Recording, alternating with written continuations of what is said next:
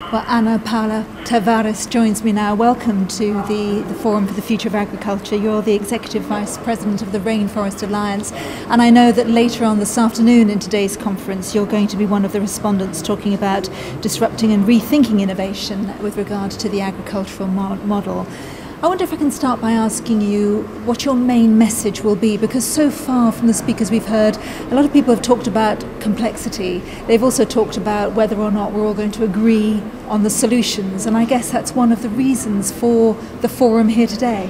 So, of course, these issues are very complex, but I think we also need to make an effort not to overcomplicate them.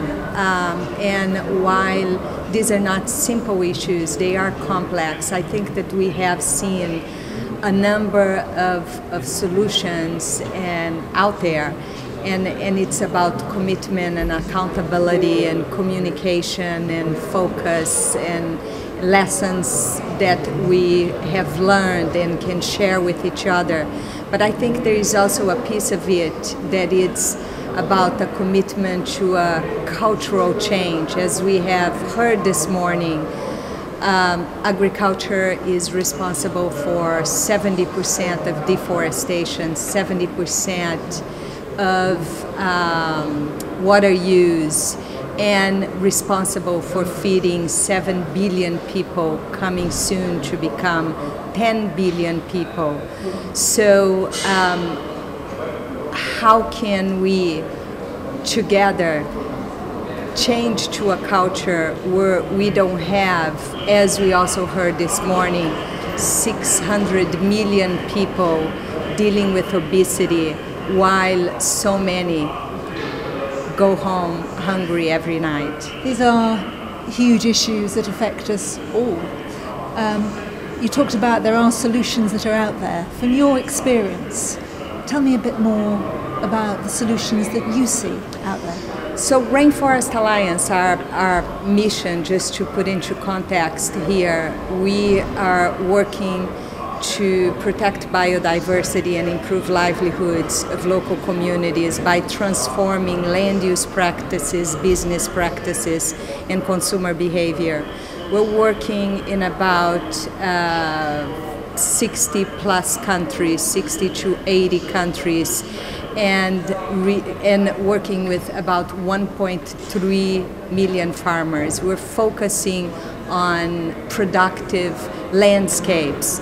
So weather is seeing the results of sustainable agriculture on increasing productivity of small uh, holders in growing cocoa in Cote d'Ivoire, where we've seen them triple uh, their income and basically due to tripling productivity, increasing significantly productivity without um, paying a cost to the environment, actually uh, much the reverse.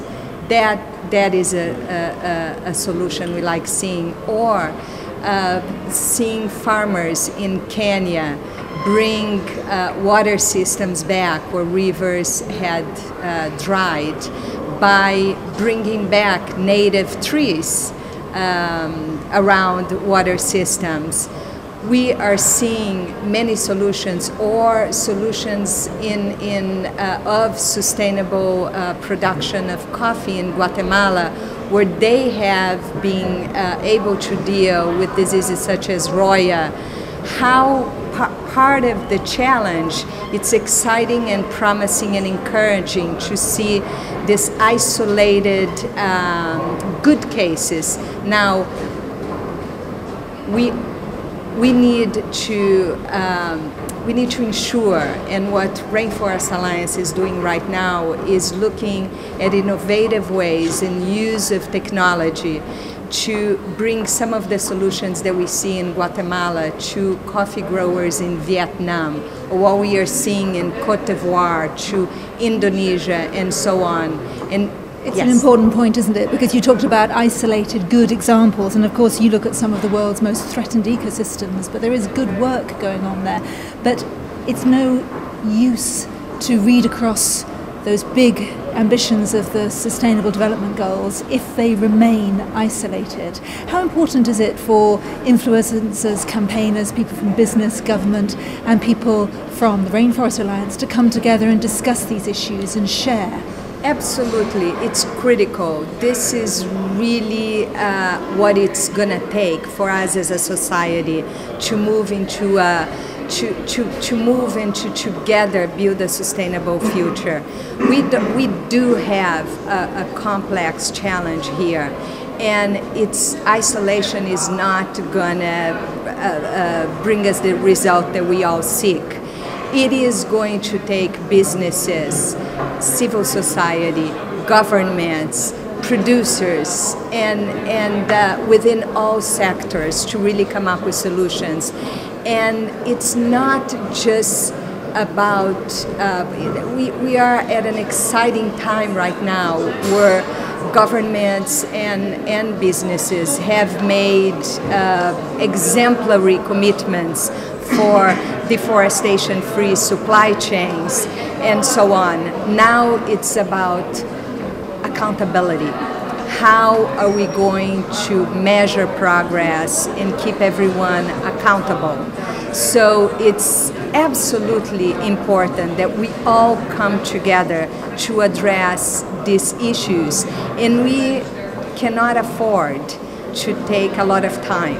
We have, in my, in my opinion, a short window of opportunity to address these issues, and it's really only together that we will be able to address them.